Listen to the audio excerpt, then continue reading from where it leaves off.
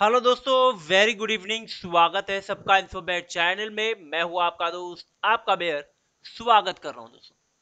दोस्तों, आज बात करने वाले हैं वोडाफोन के बारे में। वोडाफोन ने आज लगभग 18 परसेंट का ग्रोथ दिखा दिया है एक दिन में। क्या वोडाफोन के अच्छे दिन आ गए? एक बहुत बड़ा सवाल है जो आज यहाँ पर खड़ा हो रहा है। जिस तरह की आज वॉल्यूम ट्रेड हुई है वोडाफोन में मेरे ख्याल से उतनी बड़ी वॉल्यूम इससे पहले ट्रेड नहीं हुई थी। 18 परसेंट एक बहुत बड़ा नंबर होता है दोस्तों। और जब बात वोडाफोन जैसे पेनी से पेनी स्टॉक की होती है यह लगभग तीन रुपए तक जा चुका था। मेरे ख्याल से एक रुपए तक ये स्टॉक गया था डीप टू डीप की बात अगर बात करें। तो क्या ऐसे बोल सकते हैं कि इसका आ, जो है मूड बदल चुका है अब चीज़ें ठीक हो रही है?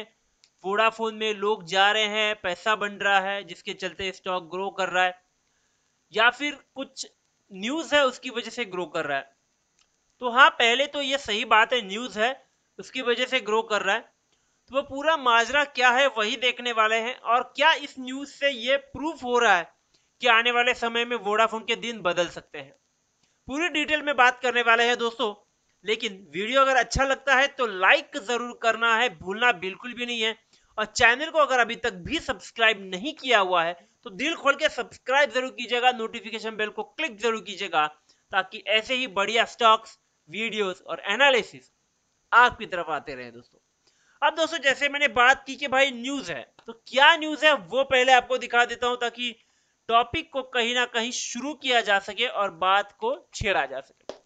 देखिए दोस्तों न्यूज़ निकल करके आ रही है कि भाई वोडाफोन का शेयर हुआ था, लगभग 70 परसेंट के ग्रोथ के साथ शुरुआत। क्यों हुआ था भाई? क्योंकि इनके जो सीईओ है, किसके?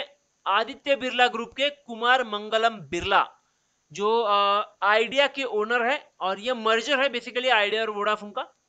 ये ये मिले थे telecom minister mister Ashwini Vaishnaw से। यहाँ पर काफ़ी सारी बातचीत हुई और यहाँ पर एक बात है, शायद अफवाह है, क्या है, ये अभी पता नहीं है। बट बात ये छिड़ी जा रही है कि भाई गवर्नमेंट प्लान कर रहा है कि यहाँ पर जो है वो कुछ रिलीफ दिए जाए टेलीकॉम सेक्टर को। आपको अगर याद होगा तो इन्होंने काफ़ी सारी चीज़ें ठोप डाली थी टेलीकॉम सेक्टर के ऊपर स्पेक्ट्रम को लेकर के, फिर उनके एजीआर लाइबिलिटीज को लेकर के तो काफ़ी सारी दिक्कतें हुई थी। और इनमें से बहुत ही सस्ते में निकल गया था जियो उस टाइम पे। बट एयरटेल हो गया वोडाफोन हो गया, इनको काफ़ी सारी दिक्कतों का सामना करना पड़ा। एयरटेल हालाँकि निकल गया बट वोडाफोन बहुत पूरी तरीके से फंस चुका है। ना इनका वोडाफोन जो मेन कंपनी है, वो भी सपोर्ट नहीं कर रही है, और वोडाफोन आइडिया फ़िलहाल फंसी हुई है। बात देखिएगा यह साधन आइडिया का जो टोटल डेट है वोडाफोन आइडिया की मैं बात कर रहा हूँ तो कभी शायद मैं वोडाफोन बोल दू, कभी आइडिया बोल दू तो चीज़ों का समझिएगा ज़रूर। वोडाफोन आईडी की अगर बात करें तो लगभग दो लाख करोड़ का कर्जा है दोस्तों इनके ऊपर। दो लाख करोड़, बहुत बड़ी अमाउंट है। डेफर्ड स्पेक्ट्रम का ऑब्लिगेशन का पेमेंट है लगभग एक हज़ार बिलियन रुपीस का और एजीआर की लाइबिलिटी है लगभग 621 बिलियन रुपीस की। फाइनेंशियल इंस्टीट्यूशन यानी बैंक्स को इनको देना है लगभग 250 बिलियन रुपया और इनके पास अभी कैश और कैश से रिलेटेड पैसा लगभग सिर्फ़ 9 बिलियन रुपीस है। पैसा बहुत कम है और कर्जा बहुत ही ज़्यादा है। और ऊपर से कंपनी है, लगभग साढ़े सात हज़ार करोड़ का लॉस इस बार रजिस्टर किया था। कंपनी का साढ़े चार परसेंट से क्वार्टर एंड क्वार्टर पे डिक्लाइन हो रहा है रेवेन्यू भी। यानी एक तो पैसा बन नहीं रहा है, पैसा है नहीं और पैसा जा भी रहा है और साथ में पे करना वो भी बहुत ज़्यादा है। हालाँकि इस न्यूज़ के चलते आप देख सकते हो 73 करोड़ के स्टॉक ट्रेड हुए थे। उसमें से भी 23 करोड़ की स्टॉक की डिलीवरी उठाई गई थी दोस्तों जो कि एक बहुत बड़ी आ, मैं कहूँगा बहुत बड़ी नहीं बोल सकता एक्साइटमेंट ज़रूर मार्केट में क्रिएट हुआ था। बट समझदार लोग काफ़ी ज़्यादा है इंट्राडे करके निकल लिए। यहाँ पर आप देखिएगा दोस्तों अभी भी मार्केट में अगर आप ध्यान दें तो 2.79 परसेंट से और इनकी इंडस्ट्री ग्रो कर रही है मतलब कंपनी ग्रो कर रही है। जबकि इंडस्ट्री का एवरेज ना minus one point seven nine है। मार्केट शेयर देखिएगा 19 परसेंट से 25 परसेंट हो गया। लेकिन यहाँ पर ना एक चीज़ देखने वाली ज़रूर है, ये डेटा पिछले पाँच साल का है।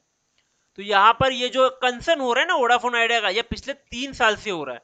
तो अगर पिछले दो साल में भी अगर इनसे ग्रोथ हुई है तो यहाँ पर एक ग्रोथ ज़रूर दिखाएगा। तो नंबर में फंसीएगा, बिल्कुल भी नहीं। यहाँ पर मुझे पता नहीं, एक बात ज़रूर यहाँ पर होल्डिंग को देख करके लग रही है।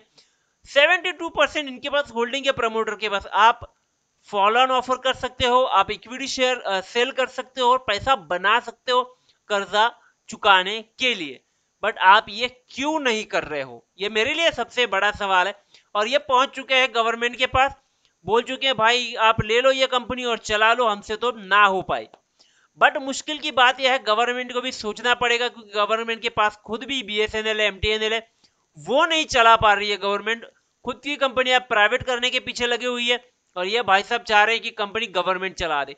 ज़्यादा से ज़्यादा गवर्नमेंट इनके स्पेक्ट्रम के कर्जे माफ़ कर सकती है, जो कि होता हुआ दिख रहा है।